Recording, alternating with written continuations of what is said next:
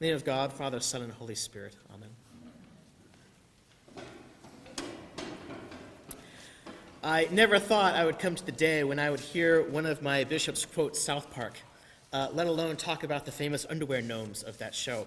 If you're not familiar, uh, uh, South Park is a satire show. It takes place in Colorado. It's animated. It's a bunch of foul-mouthed kids who have all kinds of adventures. And on one of their adventures, they discovered that their underwear was being stolen.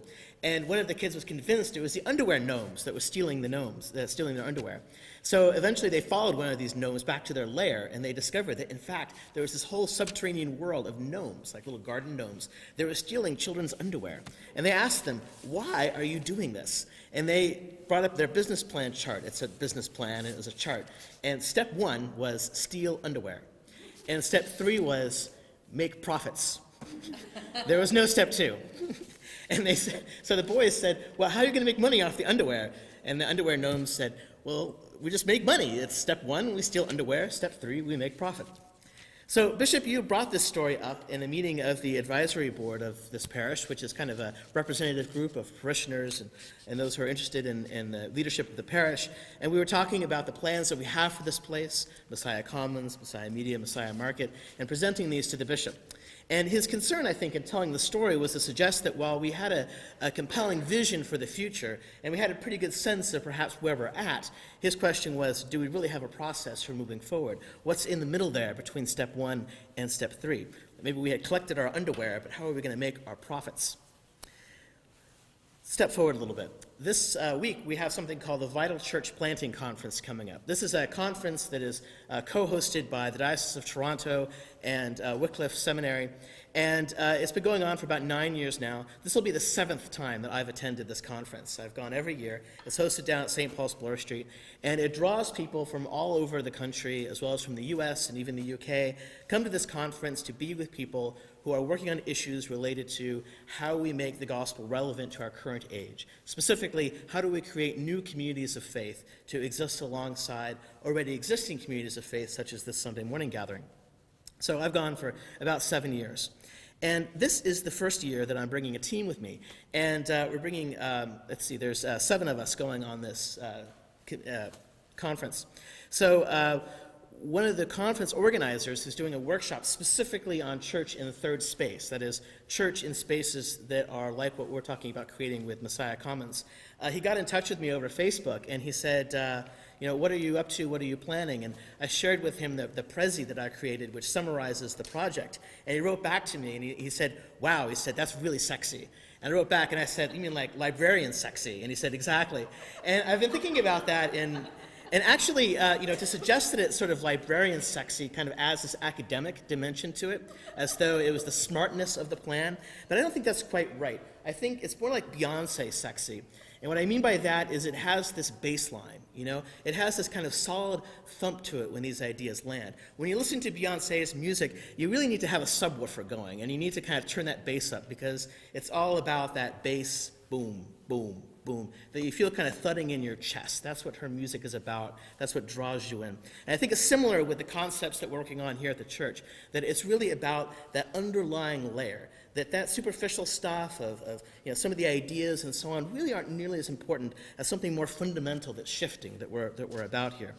And I began to get a glimpse of what that might look like on Thursday when we had our normal planning meeting.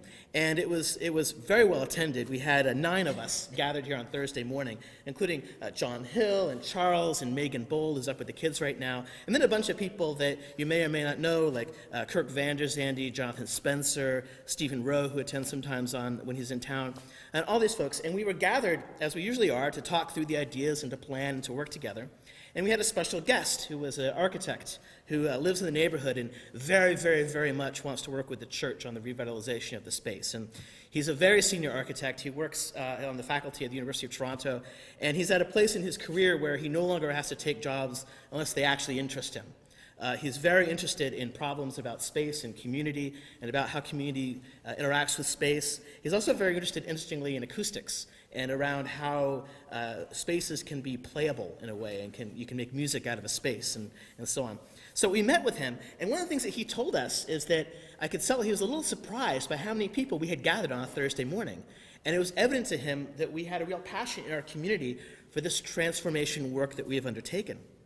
And I realized that indeed it is extraordinary to have nine people gathered on a Thursday morning on a work day to talk about the revitalization of a church. And to do that, not just that Thursday, this past Thursday, but every week for months. We've been working on this for months.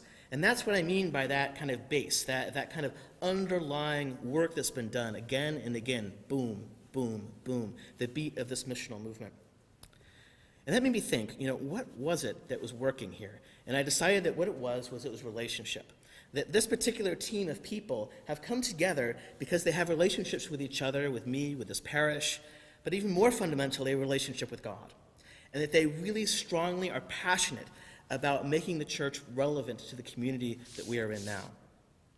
So, fast forward to the story that we have in the, the gospel today of Jesus calling people into relationship with him, calling them into ministry with him.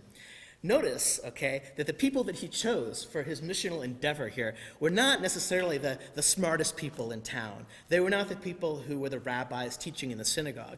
They were not the people who had particular expertise in demographics or anything else. They were workmen. They were men that were working at fishing, just a very uh, ordinary kind of vocation in the ancient world as it is now. And they were ordinary men. And he called them into something extraordinary. And they were not ready. In fact, they were in no way prepared for the work that they had undertaken.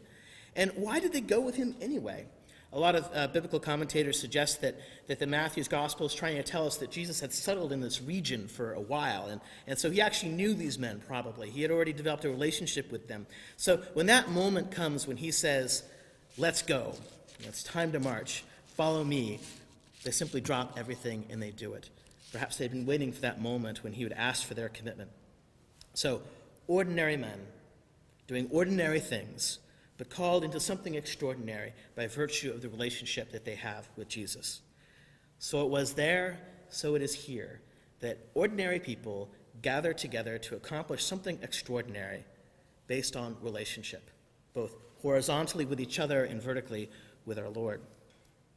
So go back to the, the underwear gnomes. I would suggest that step two in turning underwear into money has something to do with relationship.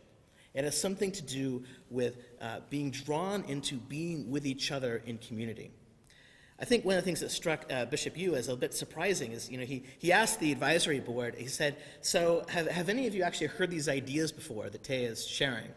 And they all kind of looked at each other and they said, uh, yeah. uh, I, think, I think Bishop Yu suspected that this was just some kind of brilliant fevered dream that I had had, and that I was just sharing it with him for the first time, although I've actually spoken to him about it before, and that this would be news to people. And I'm like, no, this isn't news to people. There's a community of people here who are working very hard through their relationships to create something new and beautiful. And each time we draw someone else into that group, like uh, recently we had a meeting with a local business owner who runs some, some coffee shops, and we're hoping to enter into a relationship with him. And I think, you know, it was interesting to hear him kind of like interact with our community and be a bit surprised by just how much work we've done to date on understanding and listening to what's going on what is the beat of this neighborhood and how do we engage with it? So those are my thoughts going into uh, the week with Vital Church Planting Conference, in which a team of people from this parish, representing this parish, about seven people, is going to go and listen to these ideas presented by church leaders from around the world. And, uh, and I think it has to do with relationship, and I think it has to do with, with, with that quality of relationship which draws us together, which enables mission and, and reaching out to the world in love. So now I'll open this up as I normally do and see if anybody has anything they'd like to share.